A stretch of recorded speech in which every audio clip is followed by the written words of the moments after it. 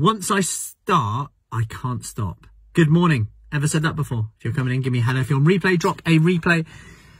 So, once I start, I can't stop. And something that the monkey on your shoulder might be saying is, you know, if you just get rid of it now, if you finish it now, it's gone tomorrow and you won't eat it tomorrow. So I want you to question that. One quick tip to question that today and get the truth in it because often the monkey on our shoulder lies. It tells half truths sometimes. So here's what I would suggest you do.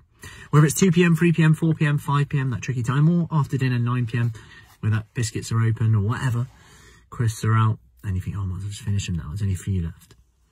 I want you to say, okay, let's question that for. Is it true that if you finish it now, you won't have any tomorrow? Is the opposite just as true? AK, if you don't finish them now, will you have any tomorrow?